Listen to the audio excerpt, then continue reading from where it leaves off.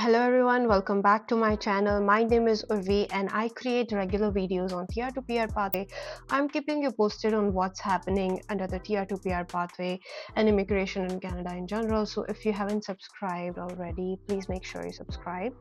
Um, so in this video, the topic of discussion is TR2PR refusals. We have been, you know, hearing about few refusal cases and I'd like to discuss the reasons uh, behind it and what can you do to make sure you don't get a refusal.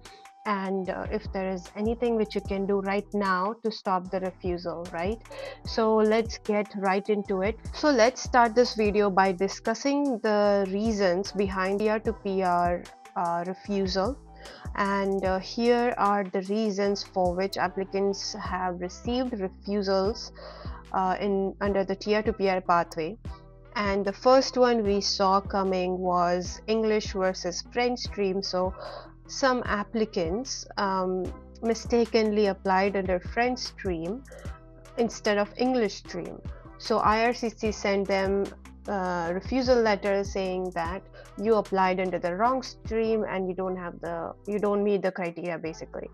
So there's this ongoing debate going on whether it was really the applicant's mistake versus ircc and ircc should give them a chance and all, all of that.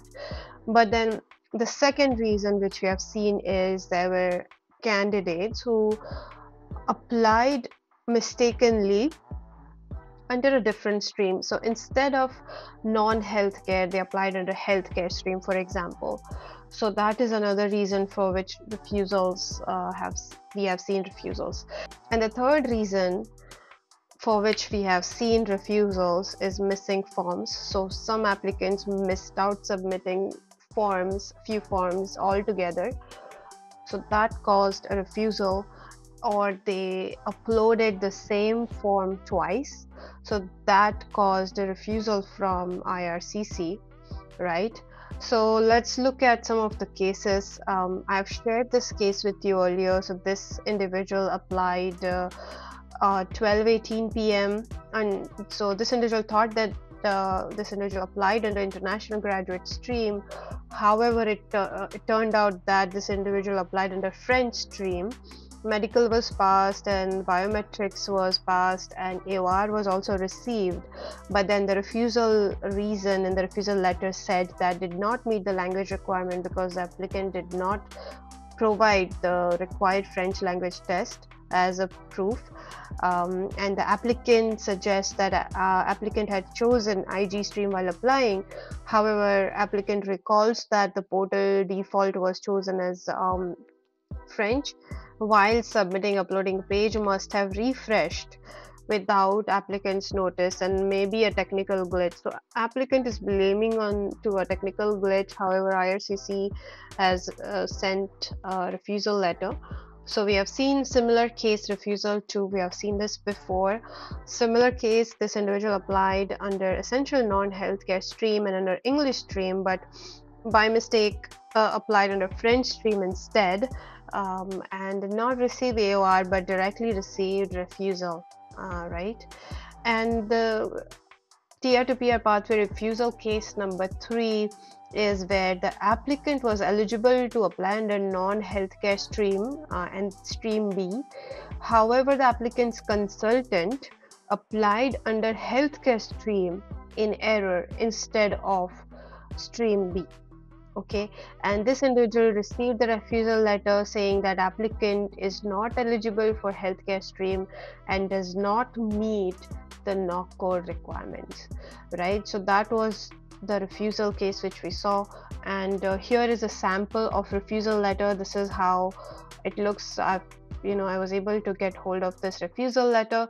So it basically says you didn't apply in the right stream and then for the missing forms as well uh, this is unclear but then um, got from internet. And basically it says that we have submitted an application for permanent residency using forms provided by the department of this public policy and which must include the time of application all proof necessary to satisfy um, that the applicant meets the condition of the possible public policy except the fee evidence requires to do, uh, demonstrate uh, physical presence in Canada at the time of application approval.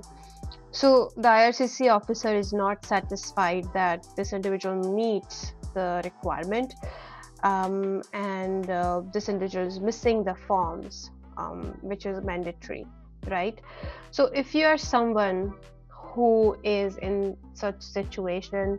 Or first thing if i were in your shoes and if i am a TR 2 PR applicant waiting for results what i would do is i would open my TR 2 PR portal log in first validate which stream under which stream i have applied. Okay so one checkbox is done. And then validate download all the documents submitted re-verify take your time and re-verify all the documents and see if you have made any mistakes if anything is missing from your end as an applicant applicant.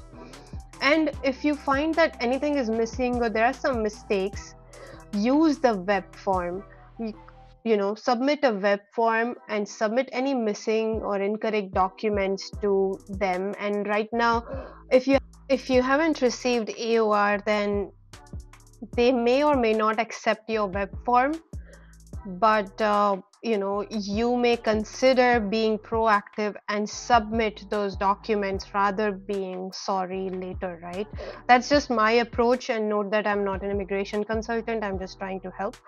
Feel free to seek professional advice as required but i'm here to help okay? All right so let me show you step by step how to log in into your tr2pr portal account and what to do step by step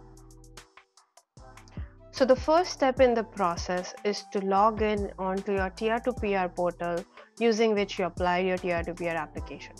So you'll enter your email and password.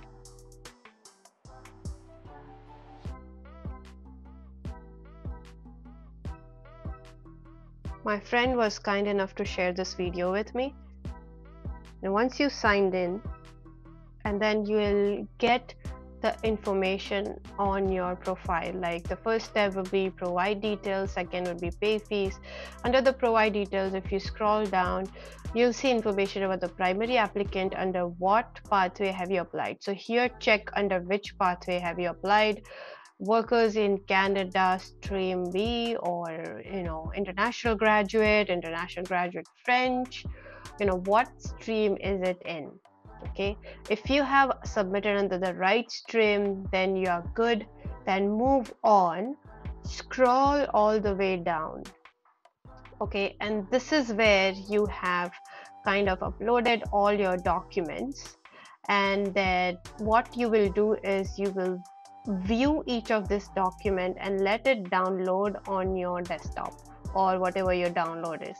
So start downloading all the documents and once you download all the documents then you open each of the documents up and review your documents thoroughly and check whether you have done any mistakes.